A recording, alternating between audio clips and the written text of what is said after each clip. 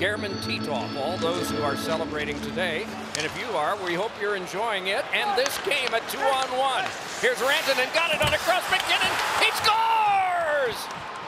Nathan MacKinnon has put this game into a tie. Both he and Crosby have connected on goals tonight. It is two to two.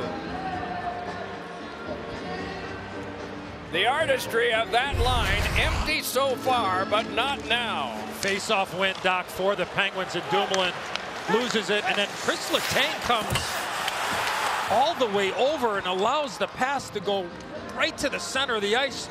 Rantanen, and it leaves MacKinnon wide open,